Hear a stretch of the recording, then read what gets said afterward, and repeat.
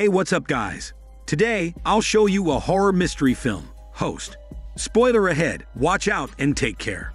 The movie begins in July 2020.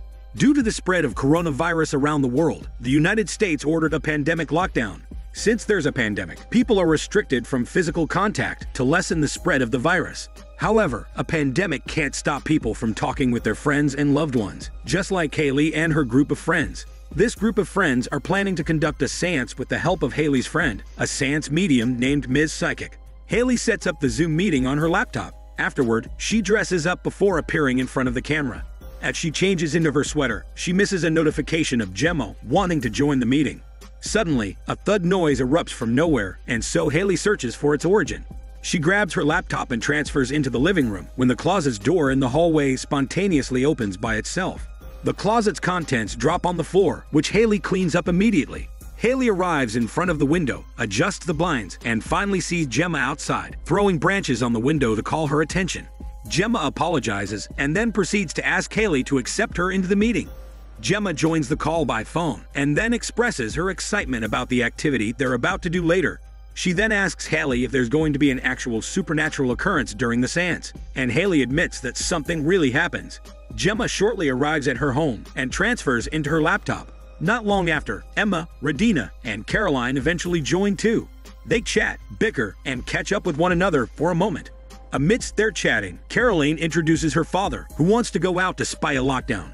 Afterward, Caroline goes to her room, and everyone comments that they love her humorous dad. Suddenly, Radina's boyfriend makes a loud cutting noise in the background, so she temporarily leaves the call to settle it.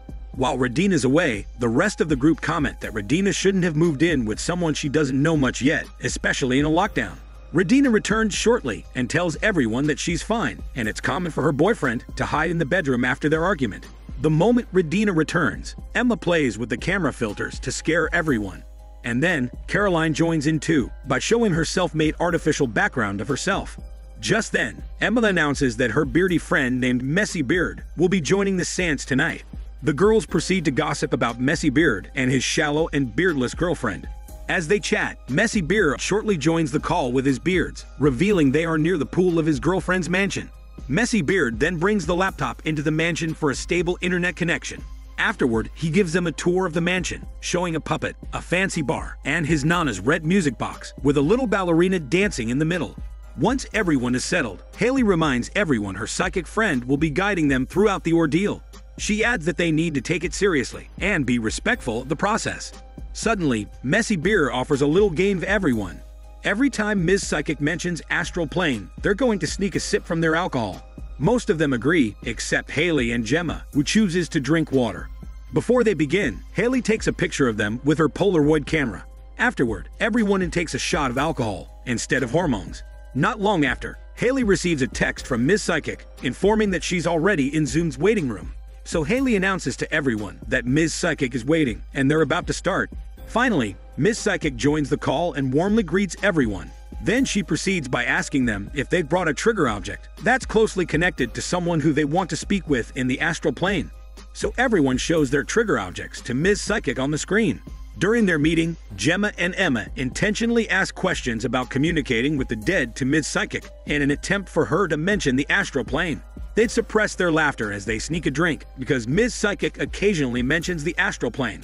Afterward, Ms. Psychic asks everyone to light the candle. That's going to serve as a beacon for the spirit to approach their circle.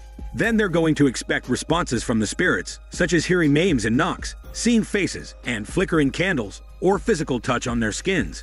Messy Beard suddenly interrupts and asks Ms. Psychic the name of the plane.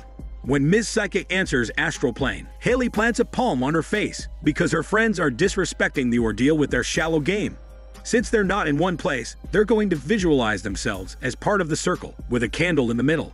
And if something happens, they need to imagine a rope leading to a door and then cut it to end the ordeal. During the seance, the girlfriend intervenes, intentionally blows out Messy Beard's candle, and disconnects him from the meeting, possibly because it would be dangerous for him to sit his beards too close to the lit candle. After the short interruption, most of the girls throw insults at Messy Beard's beardless girlfriend for being rude, but Ms. Psychic asks them to focus on the circle and the ordeal. Ms. Psychic assures them that if someone in the group is possessed, it just means that they successfully come into contact with a spirit and can communicate with them. so they avert their focus into the circle and proceed with the seance. Amidst the quietness, a loud thud erupts in the background. They think it's a spirit, but it's only Ms. Psychic's delivery package. Ms. Psychic excuses herself to get her package. She returns shortly and instructs everyone to focus on the signs of spirits communicating.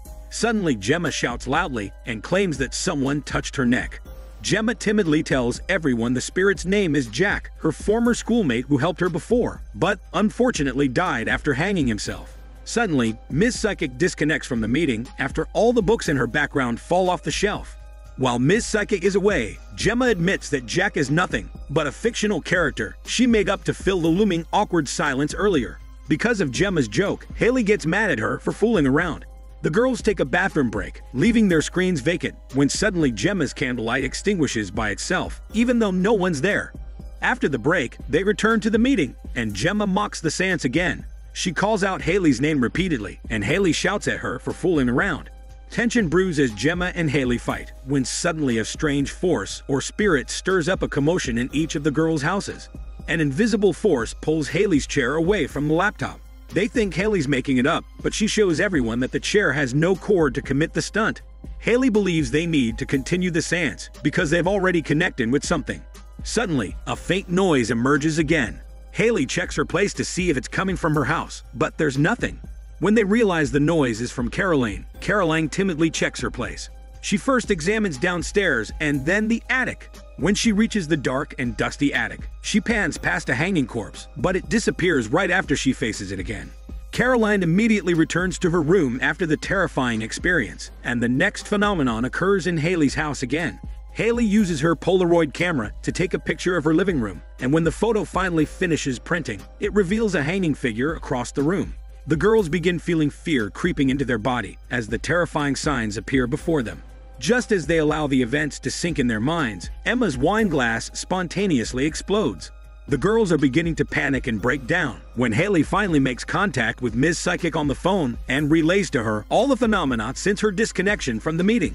After hearing the details, Ms. Psychic explains that Gemma's mockery of the astral plane after creating a non existent friend named Jack has allowed the demonic spirit to enter their seance circle. Ms. Psychic also adds that the demonic spirit might be a tulpa under the disguise of Gemma's made up character, Jack.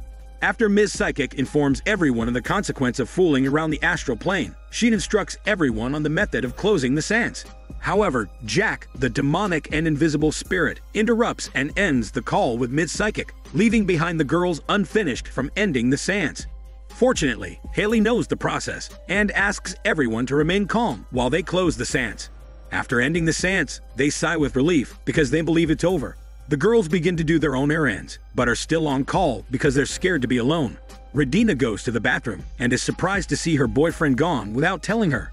Seeing his phone left behind in the bathroom, she goes to search for him. Meanwhile, Caroline disappears from the meeting, leaving the artificial background she made prompt on the screen. As for Emma, she goes downstairs and sees her camera filter hovering on the screen even though no one's there. While Emma approaches the filter, the filter suddenly faces her. So she grabs a bag of flour from the kitchen counter and scatters it to see if someone is there. The filter is gone, but footprints suddenly appear on the far ground. Emma knows it's Jack's footprints approaching her, and so she bolts upstairs. As Jack chases after her, the cabinets in the kitchen bursts open, causing their contents to fly and crash on the floor. Emma is almost near her bedroom, but Jack catches her and strangles her in the air. Luckily, Emma manages to free herself despite the painful attack and hides under her bed blanket. Meanwhile, Radina is still searching for her boyfriend when suddenly he drops dead from the ceiling. After witnessing his death, she tries to leave her house to escape from Jack. However, Jack drags her smelly ass back into the house and kills her instantly, leaving a drop of diabetic blood on her phone screen. On the other hand, Caroline finally appears from her artificial background, but Caroline's face is bloody as Jack brutally smashes her face non-stop on the desk. Caroline cries for help, but the three friends can only weep in disbelief at the sight of their friend's gruesome death. Caroline's laptop eventually falls to the ground, implying that she's already dead. Due to the succeeding deaths and misfortunes of everyone, Haley blames Gemma for messing around, despite her reminder to respect the spirits. Gemma tries to argue back at Haley when Jack suddenly pulls Haley off screen, drags her into the corridor, and closes the hallway door. Terrified, Gemma leaves the meeting and runs into Haley's house to help her, since they are neighbors. Emma is the only one remaining in the meeting, and a notification prompts on the screen to remind everyone that the meeting will end in 10 minutes. Suddenly, Messy Beard shows up in the call with his beards, but his puppet appears instead in an attempt to scare everyone. He's completely oblivious of Jack's wreaking havoc and death, and Emma tries to warn him about the demon attacking them. But Messy Beard assures her that it's nothing to be scared of. The mansion, where Messy Beard stays spontaneously, experiences a blackout. Emma fears it's Jack's doing, so she tries to warn him again. But Messy Beard doesn't listen. As he confidently searches for the mansion's power switch, a terrifying demon Jack suddenly flashes on Messy Beard's screen and attacks him.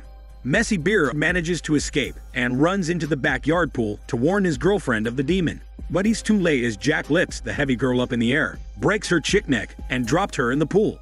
Overwhelmed with fear, Messy Beard flees from the mansion and into the dark field.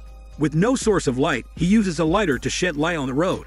However, across the field, his music box from the mansion appears on the ground and plays a tune, implying that Jack is there. Jack knocks Messy Beard unconscious, and the fire from the lighter swallows and burns his whole beard and body. Emma cries because she's frightened and alone. Suddenly, Emma's bedroom door opens by itself. To check if Jack is in her room, she throws her blanket at the space. The blanket does land on Jack, revealing its figure in the doorway. Scared of whatever Jack's ways to kill her, she opens her bedroom window to escape. But instead, she lands on the backyard chairs, leading her to death. The movie ends with Gemma arriving at Haley's home. Gemma checks Haley's laptop where she sees everyone is dead. Suddenly, Jack cracks a glass bottle at her head, causing her to fall to the ground. Jack moves the laptop, revealing a wounded Gemma on the floor. Gemma opens her phone to connect to the meeting, showing the cabinets bursting open and their contents dropping carelessly on the floor to scare her. Luckily, Gemma manages to stand a search for Haley. Eventually, Gemma finds Haley hiding under her bedroom desk. The two surviving friends use the Polaroid camera to produce a flash to light the dark house. However, when they reach the doorway into the living room, Jack appears without notice and lunges at the two friends.